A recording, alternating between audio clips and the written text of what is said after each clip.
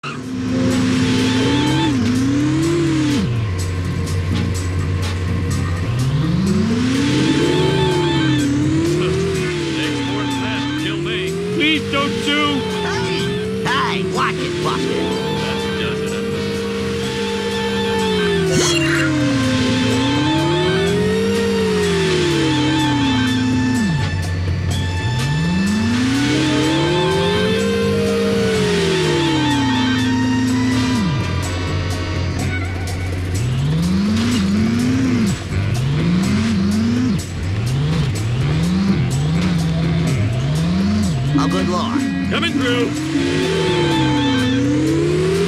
Oh, the hurting.